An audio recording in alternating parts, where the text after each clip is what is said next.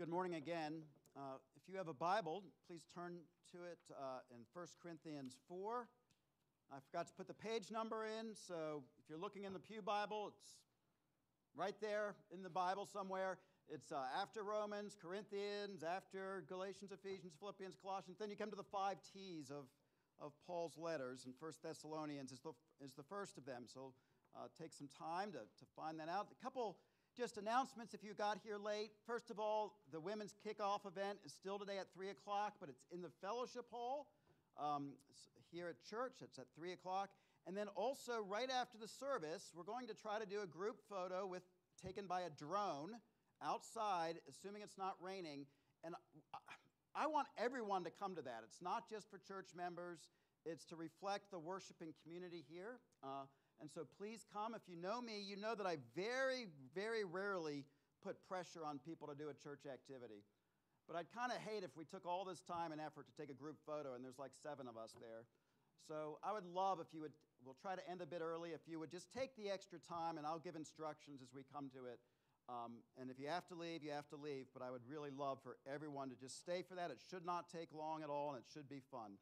So uh, that's right after the service. But now we're in 1 Thessalonians. I've taken about four months off of this, so we're getting back to there. And as I have mentioned, we head now into the subject of Christian behavior, and particularly this morning, sexual morality. So if you are visiting or new with us, please understand that we don't talk about this often. We are not obsessed with it. Uh, however, we are committed to preaching whatever text is before us, and here is where we are. It would be cowardly to skip it and not helpful to you.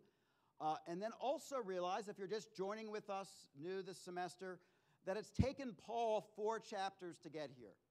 He has spent the first three chapters giving thanks for these brothers and sisters in Thessalonica. Uh, and he has reminded them of the gospel of God's love for them in Jesus Christ, that they are already accepted by what God has already done for them. So living sexually pure lives do not, does not get them into heaven. They are forgiven. But they are not just saved from something, they are saved to something, and that this is part of what we are saved to. Now, parents, fair warning, as I tried to send an email, I will use chaste language. I'll be fairly vague, but still it's impossible to avoid certain words. So, it's, in my opinion, it's better for children to hear about this stuff from you all and in the church first, because if they don't, they're going to learn from it in the world. That was in my case, growing up in the 70s. I learned about all this stuff in my friends' houses, like when I was five and six. And I was exposed to stuff in movies way before my parents wanted to talk to In fact, my parents never talked to me about it, to be honest. A little, sorry, mom. Uh, and they took us to movies they really shouldn't have. I mean, it was the early 1970s, the rating system was terrible, but nevertheless, I think it's all right for them to learn. And, but I, I, if you're not ready for that, I completely understand. I'm going to read the text, I'll pray, and if you leave with your children, no questions asked, you can hang out in the back of the fellowship hall. Um, you can listen to the YouTube uh, version later and, and see what they. So that's fine. No questions at all asked at all. I do hope you can stay for the, the picture if possible. And if you stay and halfway through you start to regret it, I'm going to have a deacon come up here and announce that somebody has a car with their lights on. And everybody can pretend like it's theirs. And just empty out. Just, I mean, in fact, I, I have dreams like this. I look up from the pulpit and everybody's gone. So we'll make, we'll make room for that possibility.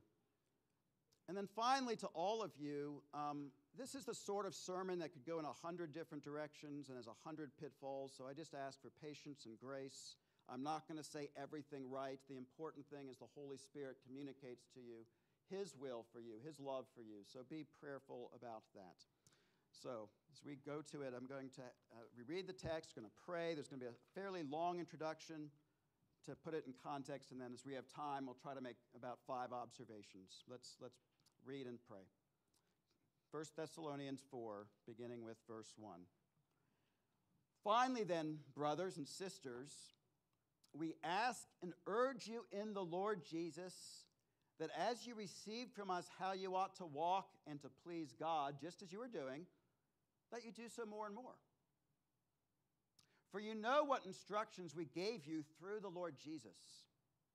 For this is the will of God, your sanctification, that you abstain from sexual immorality, that each one of you know how to control his own body in holiness and honor, not in the passion of lust, like the Gentiles who do not know God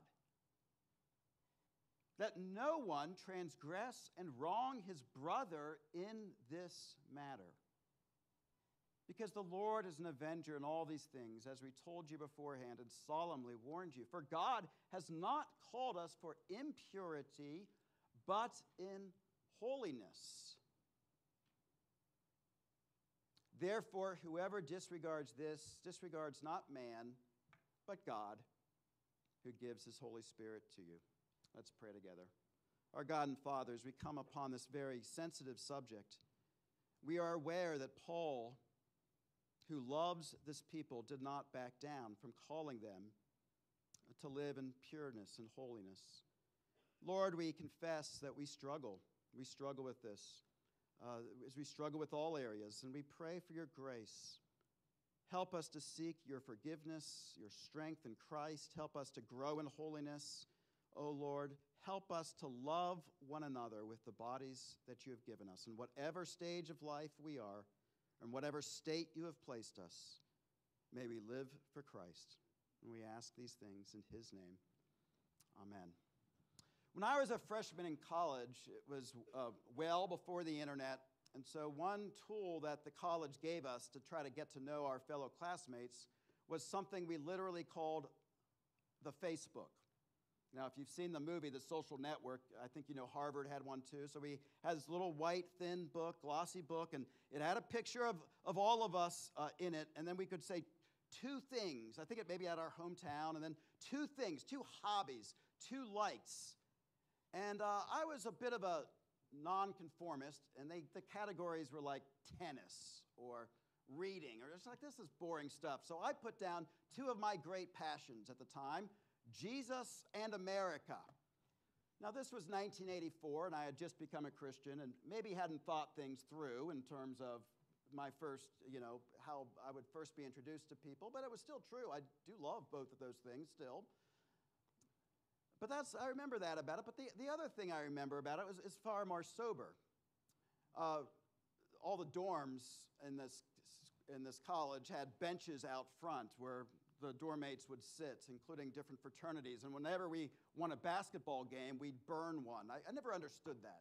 If you lost a basketball game, you left them alone. If you won a big one, you, you destroy, destroyed something. Never made sense to me. But I remember walking by one of these benches right there in the main spot of campus, right in front of the main bus stop. And it was one of the, the, the most prestigious fraternities on campus, the one that was known to get the wealthy boys, the pretty boys. As I'm walking by the bench, two of the upperclassmen are sitting there and they say, Hey, freshman, can we have your book? And I was generous and I was kind of embarrassed by Jesus in America, so I'm like, Sure, you can take it. And I handed it over to them. And then in my presence, they opened it and they began to go through it. And then I found out why this book was also called the Pig Book. And they began to circle pictures of the young women that they wanted to invite to parties, not knowing anything about them at all, but based purely on appearance. And then they began to put X's through the women they never would invite. Now, what do you think I did? I did not like it. I was disgusted by that. But I walked away as a coward. So much for Jesus in America. But that's the kind of culture that we live in. This was back in 1985. And you say, oh, I know, things started to get bad in the 1960s. Oh, no, let me tell you something. Things have always been bad since the fall of Adam and Eve. If you look at our letter, this is one of the earliest letters in the New Testament, written around AD 50. You might remember that Paul had planted this church up in the Greek city of Thessalonica. So it's right up there in the north coast between modern day Turkey and the mainland of Greece now. It was a major cosmopolitan city, worldly in every way. It's still the second largest city in Greece, uh, filled with commerce and successful businesses. And it was out of that community that God called a people to trust in Christ, to live eternally. And that means to look different than the ways of the world, that they're going to be part of the new creation of love that Jesus came to establish. Look at verse, what is this, verse 4 and 5. He says to them, uh, This is the will, uh, your will of God, that each one of you know how to control his body in holiness and honor. Verse 5, not in the passion of lust like the Gentiles who do not know God. So different. Now, who are the Gentiles? It, it, that word meant a couple of things back then. One, it meant everyone who wasn't Jewish. So you are a Gentile if you weren't part of Israel. But most of the believers in this church were Gentiles, they were Greeks. And so Paul is saying to them, no longer live like the people you have been called out from. Do you get that? It would be like me saying to you, oh, good, you've come to Christ. That's wonderful if you're American. Uh, sorry, I'm saying this in the wrong order. Golly. All right, I told you it, would be a mess. If, if you're American and you come to Christ, I would say no longer live like the Americans. No longer live like American values. Now, I just said I loved America, but there's so much about our culture which is materialistic and selfish and self glorifying and sexist and racist that as Christians we want to live differently than the cultures we are called out from, whatever culture that may be. Every culture is infected by, by human sinfulness. And so Paul was, had, was chased out of Thessalonica and he ends up down in Corinth, but he's worried about this, this young group of believers. So he sends up Timothy to get a report, and Timothy comes back with a report, and it's mostly encouraging, but he's finding out that there's this, this worldliness that's creeping into the church. Now, so Paul says, Now then, I want to remind you to live like we instructed you to live, and here are some of the ways. And sexual purity is not the only thing he talks about, but it strikes me, doesn't it? In verse 3, that when he says, This is the will of God, your sanctification, we get that. You want to know God's will for you this week? Like what classes? You, you well, go to all your classes. But, you know, who to hang out with? Um, uh, you know, what, what, what is God's will? It's always your holiness, sanctification. That's, a, that's just a fancy word for being made to, to be more the person you are created to be, to become more holy, sanctified, set apart, separated. That's the will of God for you. But then the first thing he says, don't be sexually impure. And that hits me like a ton of bricks. Paul, why start there of all places? So I think it is interesting to consider. And I think it's because it's, it's, it's, it's, it's, it's one of the ways that God has made us to be in relationships. And it's one of the ways that we most easily rebel, one of the ways that we, we, it, it, we most easily reject God. We say, you can, be, you can be Lord of my career. You, you can be Lord of the way I interact in the neighborhood. But my sexuality is my business. And the Lord Jesus Christ says, I want all of you. I love you that much. Now, a couple of things that we need to note here. They might be obvious to you, but I should state them. One is Paul does not say to abstain from sex. He himself was single and he saw the benefits of that. There was a great blessing to being single, but he knows that it is a blessing from God in its proper context, which is a holy matrimony between a man and a woman. And Jesus confirms that that was God's plan for creation. Now, it gets disordered right away, and we see all sorts of defects in the Old Testament. But when Christ comes back in Mark 10 and Matthew 19, he says clearly, This is God's will. This is how you grow in holiness. Because it is such an intimate part of our lives, it is meant for only one other person at a time, just to be really clear about that. And so it is a difficult area. That's the first thing, though. It is holy and good in its proper context. But a second thing is that this word here, porneia, is wide ranging. It includes all forms of sexual immorality, not just adultery. he wants the Thessalonians to abstain from adultery, from premarital intimacy, from uh, harassment and, and, and, sexual violence, from homosexuality, from pornography, which did exist uh, in a limited form in that day. And this is exactly, of course, the, what Jesus taught. But then Jesus makes it clear where all of this comes from. He says, Suppose you look at a woman and you do not commit adultery with her, but you commit adultery with her in your heart. It's like you have already in terms of your own holiness, in terms of your need for forgiveness and grace. You are coveting someone that is not yours. You are trying to control something that you shouldn't. And you need grace and forgiveness and growth, not just in the way you physically operate, but in your own mind and heart. It always starts there. But then, Paul, back to our text, as he goes on in verse 4, it's not just about avoiding uh, uh, all sorts of different sins, and it's important here that we don't just single out one and pick on one as, as, as, as kind of the culture wars want us to do. It's not just about avoiding all forms of sexual impurity. Look at verse 4. But that we know how to control our own bodies in, whole, in holiness and honor. Now, I need to note as we go through this text that that first phrase in verse 4 is is notoriously difficult to translate. And you can go into the commentators and read all sorts of disagreements about what the Greek means there. So some think Paul is saying actually this is the way you live holiness to obtain for yourself a wife. They just they translate the words differently. And, and, and then this is where you grow in holiness is with one wife in marriage. Uh, and others say, no, it's really about controlling your own members. Either way, the point is the physical bodies God has given us were created to serve others. Everything you do, whether married or not married, uh, uh, the, the, the, you are given literal body parts that are given to you in order to love and serve others. And that's what, frankly, most of the New Testament talks about. There's way more in the New Testament about the use of our tongue and speech than there is about this. But it makes sense, doesn't it? We want to love others in terms of, of, of, of, abstaining from violence and showing proper affection if invited to and welcome and encouraging and useful. You see what I'm saying?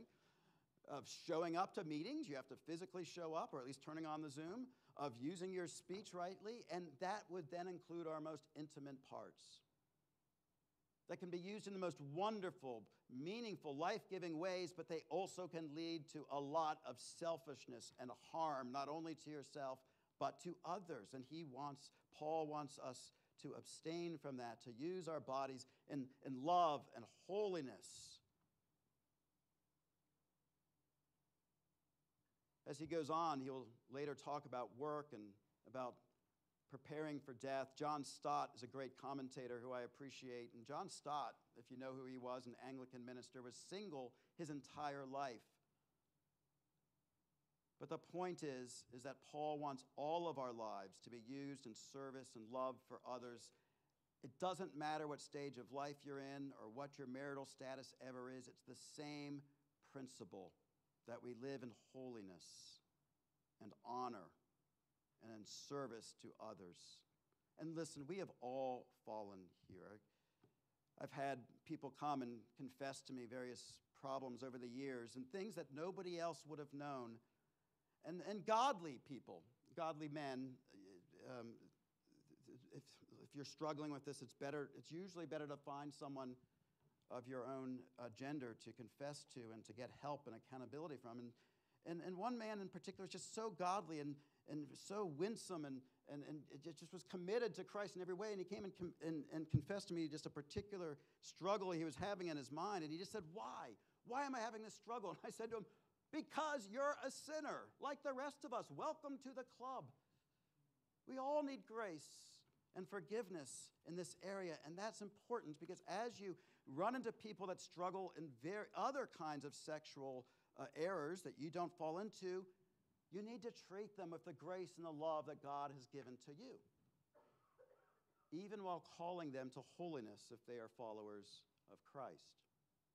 So, all of this is to say, by introduction, that we have to understand this call to holiness in light of what Paul says in the very first verse. Finally, then, brothers, right? So he's taken three chapters to explain to them how much God loves them in Christ, how they are forgiven, how Jesus came and took a body and, and lived in perfect holiness, never sinning, and then offered himself up as a sacrifice so that all our sins would be washed away. And the only thing that hurts us now is hiding our sin. That's, that's what we confessed earlier, trying to pretend we don't struggle. So we hold on to it, and then we ache. Our, our souls ache, even if nobody else knows about it. But then we come to the Lord, and how blessed are we when our sins are forgiven. Then we can, even though we've committed great sins, whatever our past is, we walk in grace, we walk in God's love, and we're still here. And so we are called to, to then use the rest of our lives to serve Him so we can shout with joy that's the gospel. That's where Paul starts. And then he says, this is what that looks like. Do you understand that? So, parents, just an application right here. Look, at verse chapter 4, verse 1. And he says, Finally, then, brothers, we ask and urge you in the Lord. Notice the, the, the, the verbs there. He begins by saying, I ask you, I, I'm, I'm, I want you to live in holiness.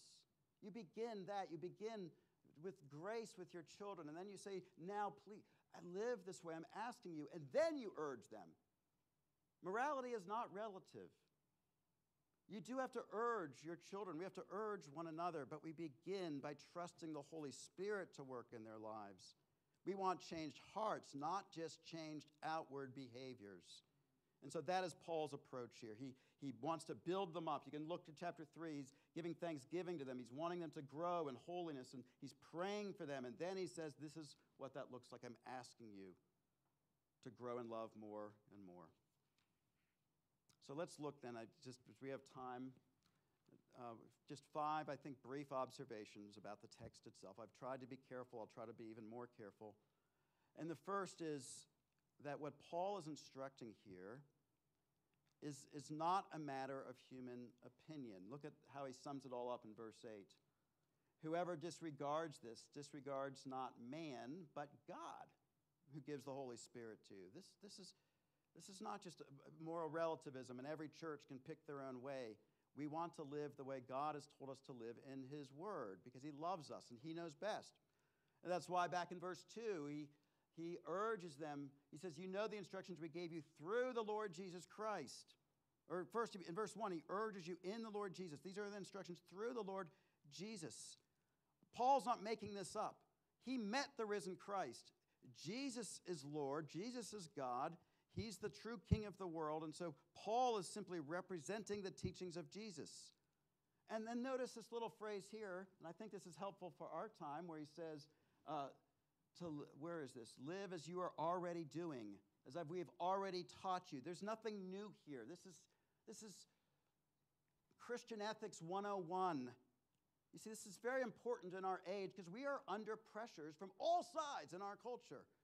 From the left, we are told we have to tolerate other people's lifestyles and particularly the gay agenda these days, right? It's just it's out there because that's their that's the latest cultural thing and that we have to embrace it as normal. And we're trying to say, okay, you all live like you need to live or want to live. We're going to do what we need to do over here in the church.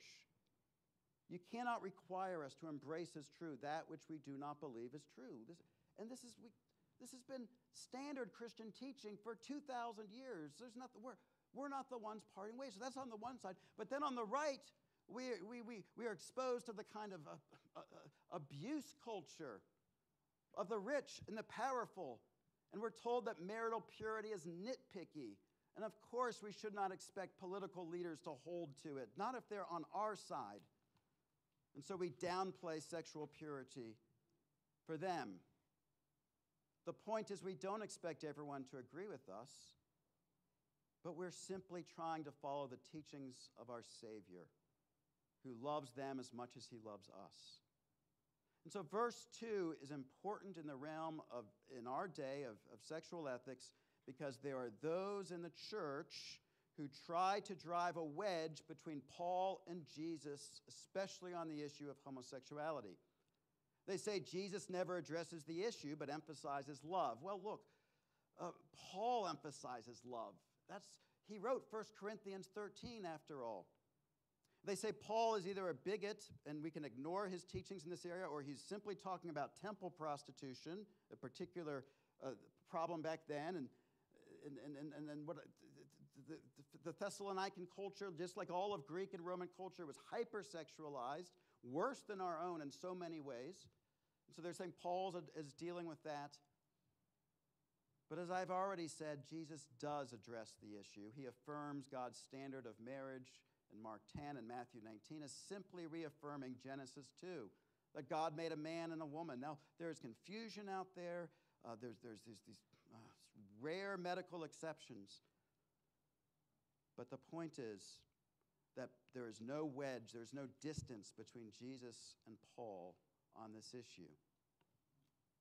There's a second important point, though, even as we affirm that, that notice who these instructions are given to. And we might miss this. Paul is writing to the Thessalonican believers, okay? That's the whole presupposition. He's written to those who've already heard the gospel, who've already accepted Christ as their Savior, who are called out into this holy community. He is not writing this to the Gentile unbelievers, not here. Uh, that's what verse 5 is all about. I'm calling you out. We're, the Holy Spirit's calling you out from those folks. We do not expect all of society to agree with us on this. This is so important because we are dragged into the culture wars uh, where, where we are expecting to, to live in a Christian society. That's never been the case. And I was a history major, and I can promise you that when Christians uh, by name were in charge and were the wealthy and powerful, they absolutely allowed sexual impurity among the rich and the powerful. Just look at the kings of England, just for instance. I mean, if, as a, uh, look at our own list of presidents if you want to just get really personal. The point is, as believers in Christ, we are part of new creation. We are a, a colony of heaven we are people that live in holiness and purity and love. And Paul is basically saying in verse 5 that they are living after lust. They're living for themselves. They do not know God. So, of course, they're living for themselves. And that takes all sorts of forms and shapes greed, power, lying, manipulation, self promotion, but also the control of others in sexual relations for selfish ends. Paul says, no longer be part of that. So let me be very specific. If you have a gay neighbor or see a business flying a rainbow flag, that's not your worry. Assuming we know what rainbow flags mean these days. And frankly, if it's a good business and they put out a good product, I'd feel free to use them. It's up to you, but I don't see any reason why not. We live in the world. Paul makes this really clear in 1 Corinthians 5, and I, I, really think this is helpful for us as we live ourselves in holiness, but are trying to love our neighbors that are in all sorts of disbelief. This is what Paul says in 1 Corinthians 5. He says, I wrote to you in my letter not to associate with sexually immoral people, not at all meaning the sexually immoral of the world, or the, or the greedy, or the swindlers, or the idolaters. See, it puts them all together. Since then, you would have to go out of the world. You'd have to join a monastery where, by the way, that stuff still exists. But now I am writing to you not to associate with anyone who bears the name of brother if he is guilty of sexual immorality or greed or an idolater, revival, or drunkard or swindler. Not even to eat with such a one. For what have I to do with judging outsiders? Our job is to help one another to grow in holiness. And those that are outside, our first job is to tell them about the love of Christ and let Him change them from within. Do you see that? I think it gives us a great posture towards the world as we ourselves hold to what we believe while yet still loving them, knowing that they don't agree with us on these things. Third, notice the motivation that Paul gives for pursuing godliness, and this is critical. He says in verse, where is this? Verse 1 still. We ought to walk in order to please God. This word walk is, is so important to Paul. It's, it's about everyday living. It's not, the Christian life's not just huge events or crises or sitting up in a tower. It's about every day going to work, uh, what television shows you watch, uh, uh, what you decide to read, how you treat other people. All of it is, what your, your orientation is to please God. It's not just living up to expectations and following rules and making sure you're wearing the right clothes and all that. You're, you are following God. You belong to Christ. That, and so that gives you motivation to do what is right in secret as well as what is in public. Because if we just worry about following the, the exterior rules, what's going to happen? We're going to find loopholes and ways around it. That even societies which highly honor marriage find all sorts of ways for men to get away with sexual impurity. There's all sorts of, of, of red light districts in countries where there's, there's blasphemy laws and, and adultery laws, and yet they have these red light districts. They find loopholes. Or as an army colleague used to say to me, he says, It's okay to look, just don't touch. Well, that keeps it legal, but it doesn't keep it holy. Paul says we should want to please God, knowing that we're still going to fail every day, but knowing that He loves us anyway. But we want to do what's right by Him. And that's why it is always encouraging to me when, when people come to confess their struggles in this area. Nobody would have known with some of these, these sins that people commit, especially with the easy access to pornography these days. But they want to be right before God. Even if they keep slipping up, that is their motivation. And there's ways to find accountability. Um, the, we don't advertise this widely, but the church has a Covenant Eyes account where you can join and, and make sure that whatever you go to on the internet is someone's you know keeping eye on it and just trying to help you and you find someone that's not going to slam you but say hey look like you slipped up there on tuesday at 2 o'clock. What's going on? And, and you could say oh no that was actually i was just shopping or whatever. But, you know, but the point is, is you, that you care. You care enough to take it seriously that every part of your life belongs to jesus. One of the most difficult things in my life was a good friend and colleague, minister, pastored a big church, was pursuing his PhD. And he and I were pretty close. In fact, the first time I met Taylor Rollo was on a comment section on his blog, and I thought Taylor made an intelligent comment. I'm like, hey, you should apply here. Just maybe see if it works out. And here he is 11 years later. That was on my friend's website. My friend was living a secret life. He got addicted to pornography and then he had affairs. Eventually, he ended up running a working with prostitutes, and eventually, he ended up taking his life. This is a huge deal for me. And yet, we just ignore it as a denomination and as a church. We barely talk about it. And so I pled with Presbytery in private. I said, if we, you are struggling, please get help. If my friend had come to us early on when he started to slip and asked for help, we would not have run him out. We would not have slammed him with the law. We would have provided him help. And he would have grown in holiness with God's help, and he would still be alive today, ministering even more grace than when he started. But instead, he was scared. He was scared of what we would do to him. And he was selfish, and he hid it and his life ended up in a shipwreck. These things happen. And I could mention more famous names in the Christian community Jim Bakker, Ted Haggard, Bill Hybels, Ravi Zacharias, Jerry Falwell Jr., all men with huge ministries. And yet, down deep, not living to please God. They lived just like the world. And the world sees that, and they see that we are hypocrites. So they think that we're really just about power and worldliness, and we're just using the church to live for ourselves. May it not be so among us. Let's be weak. Let's be uninfluential. Let's not have huge ministries. And let's be holy. There's a fourth, and I need to move on. And this follows right up. This is so wonderful. Look at the end of verse 1. Just as you are doing, and that you do so more and more. We get better. This is why we encourage one another. The Holy Spirit is on our side. Jesus is on our side. We are on one another's side, and we do grow in this. We get more holy. Again, one of my uh, privileges is to hear people's confessions and sins, and then also to see God work holiness in their lives and see them to grow. And when they slip up, that it doesn't ruin their lives. When they come and confess and they grow. One of the, I can tell this, one of the greatest joys here was, was with a couple that kind of jumped the gun on the, the wedding thing, and they ended up getting pregnant before the ceremony. And what did they do? They came and told us. And as a church, we accepted them. We had a meeting, we announced it, and that was the last they ever heard of it. And then they moved on to another city, and nobody has to know unless they are super good at math and inquisitive. And, and even if they find out, so what? That's what grace is for.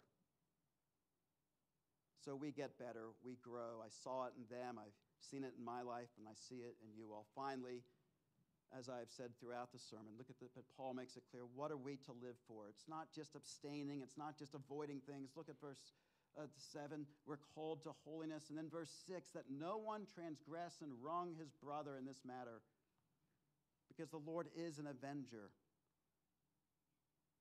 So if we begin by trying to make sure that we're pleasing God and growing in this and giving one another grace, where does it end? If it's about loving God, it's making sure we don't hurt others. It's making sure that all of our body parts are used to serve others in whatever status we are in. So you're, you're not just thinking, what do I need? What do I want? What will fulfill me? What will give me a thrill? You're thinking, how can I love that other person? And when you're married, that's exactly what marriage is for.